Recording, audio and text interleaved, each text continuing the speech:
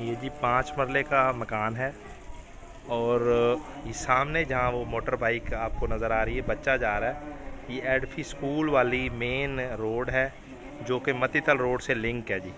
खालिकपुरा इलाके का नाम है जी। पाँच मरले, डबल स्टोरी जी, फ्रंट एलिवेशन देख लें। डबल स्टोरी मकान है, अंदर मार्बल टाइल लगी हुई है। अंदर से आपको विज़िट करवाते हैं, तकरीबन 25 फुट इसका फ्रंट है जी। और गली की बात करें तो 16 फुट तकरीबन गली है। इलाके में गैस है। ये देखें, मीटर लगा हुआ है। ठीक है जी। आपके घर में गैस तो नहीं लगी ना? ठीक है, अब अब अंदर चलेंगे। नहीं जी, ये हमें ऑनर है। ये हमें अंदर लेके जा रहे हैं। मकान दिखाते हैं अंदर से। फ़र्स्ट में आप देखेंगे कि कार पोर्च है, जो कि हम छोटी गाड़ी के वाले से कह सकते हैं कि ये गाड़ी इसमें खड़ी हो जाएगी। लेंटर डला हुआ है, हाइट देखें, लेंटर की तकरीबन 12 फुट पर या साढ़े ग्यारह फुट पर इसकी हाइट है जी, लेंटर की जी। ये सीढ़ी के लिए दरवाज़ा ऊपर जा रहा है, बाहर से भी है और अंदर से भी है। वाशरूम है जी।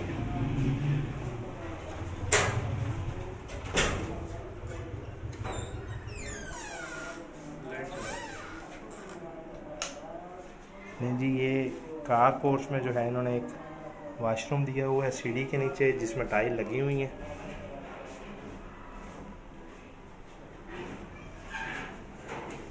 ये ग्रिल लगी हुई है।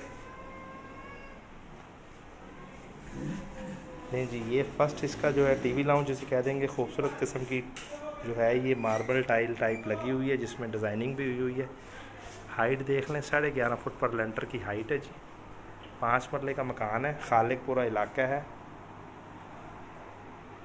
देखें घर वाले, देखें जी, ये ड्राइंग रूम है जो कि कारपोर्च के साथ अटैच है। मार्बल इसमें भी लगा हुआ है जी।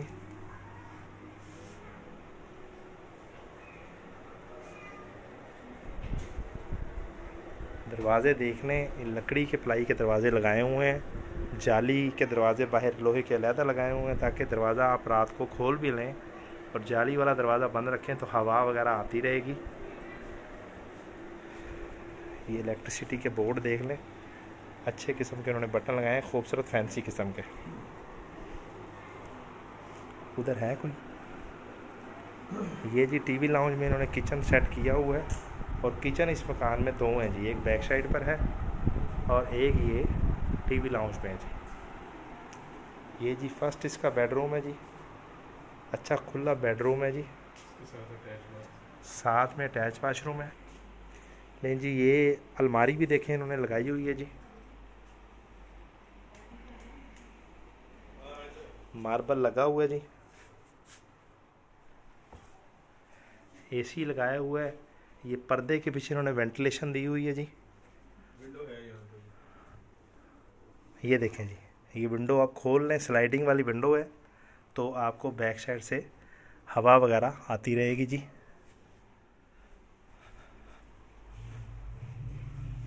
लें जी। ये इसमें जो है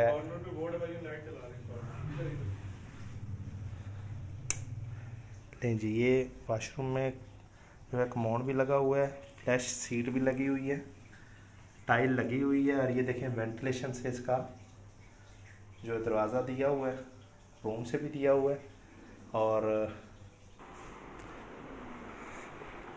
पहले हमने जी ये बेड विज़िट करवाया अब इस बेड में जा रहे हैं जी। ये देखें जी, इसमें भी मार्बल लगा हुआ है जी। और लेंटर खुला बेडरूम है जी।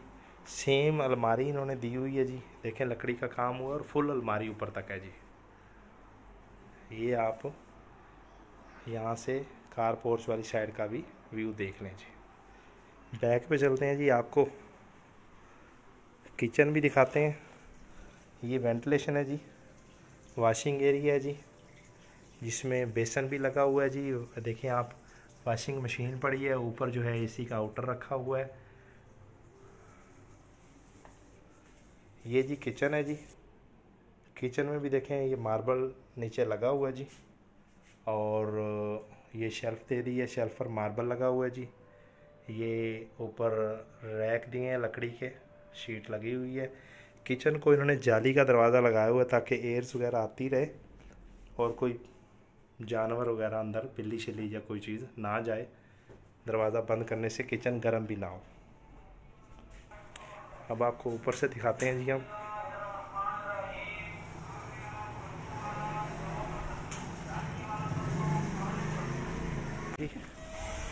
ये देखें स्टार्टिंग में मार्बल लगा हुआ है जी। बिजली के मीटर दो मकान में लगे हुए हैं जी, ऊपर का अलग लगा है, नीचे का अलग लगा हुआ है।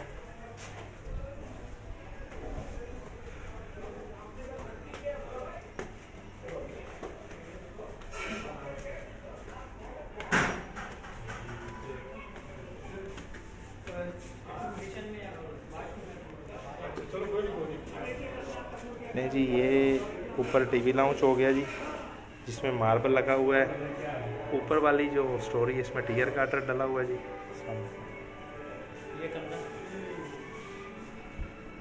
अच्छा जी ये देखें जी ये बेडरूम है ये जी ऊपर नीचे वाले बेडरूम के ऊपर बेडरूम इसमें टीयर गार्डर लगे हुए जी। ये अलमारी की जगह। इसमें लकड़ी का काम होने वाला है। वाशरूम में कोई है। ये अटैच वाशरूम उसमें टाइल लगी हुई है वाशरूम में टाइल लगी ये बैक पे जी। अच्छा सीमेंट वाला मार्बल नहीं लगा हुआ। ये जी इस वाशरूम के ऊपर से ये स्टोर भी है जी। नहीं जी ये एक बेड ये हो गया ऊपर ये दूसरा बेड के ऊपर बेड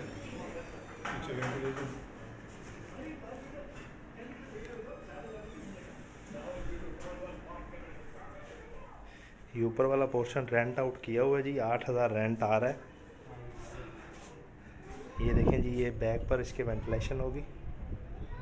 और ये सेम जो है वो वाशरूम का दरवाज़ा बाहर से भी है।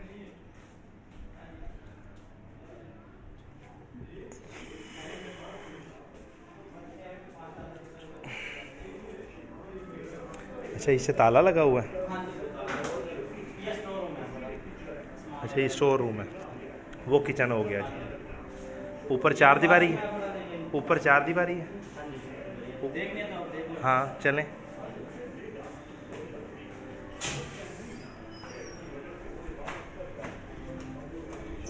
ये जी थर्ड पर हम जा रहे हैं। लोहे की ये सीढ़ी चढ़ाई हुई है।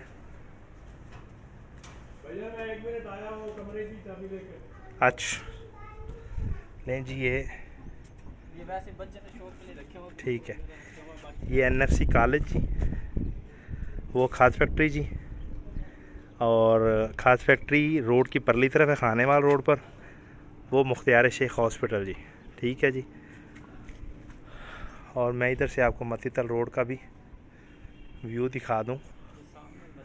वो मतीतल रोड है जी। कोई ना कोई गाड़ी गुजरते हुए आपको देखें बाइक वाइक गुजर रही हैं। ठीक है वो बिल्डिंग जो बड़ी बनी हुई है वो रोड की परली तरफ़ है जी। मतीतल रोड से भी दूर नहीं है जी। ये छत खुली जी।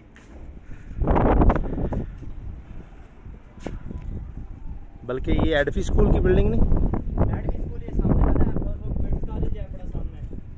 एडफी स्कूल कौन सा है? हाँ हाँ। वो सामने वाला। ये वाला। हाँ जी और एड ये ये रोड से परली तरफ़ है उरली तरफ़? नहीं नहीं रोड किस तरफ़ है इस तरफ़ है। ठीक है। वो मस्जिद रोड की परली तरफ़ हाँ। मस्जिद परली रोड की तरफ़। ठीक है। ये सामने रोड लग रहा है सामने रोड का बैनर लगा हुआ रोड और ये देखें जी जहाँ से बच्ची आ रही है ये एडफी स्कूल वाली सड़क भी हो जाती है जी। ये जहाँ से बाइक अंदर आई है इधर से इसका नाम के चार पाँच रोड लगते हैं। बुआपुर रोड इस तरफ़ हो जाएगा जी। खुली छत है जी रात में ऊपर सोने के वाले से इसे यूज़ किया जा सकता है जी। नीचे चलें जी। जी, ये वो दो बेडरूम आपको दिखाए थे, ये रूम को लाक था, ये आपको अंदर से दिखा देते हैं जी।